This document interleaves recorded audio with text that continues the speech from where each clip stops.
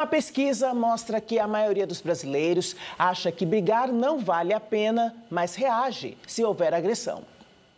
No mês passado, uma briga terminou com a morte do campeão mundial de jiu-jitsu Leandro Lô num clube em São Paulo. O agressor, o policial militar Henrique Veloso, deu um tiro na cabeça do rapaz, alegando que agiu em legítima defesa.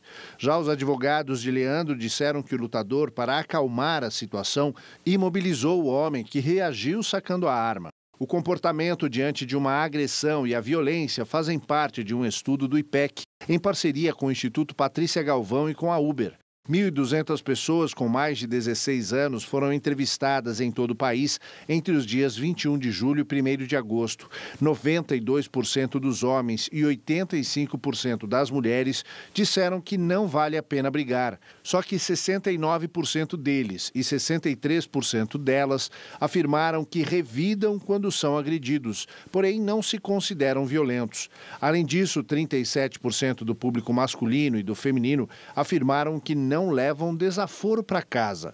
Entre 2020 e 2022, 14% dos homens e 20% das mulheres disseram que tiveram agressões físicas e verbais nesse período por causa de controle, abuso e assédio.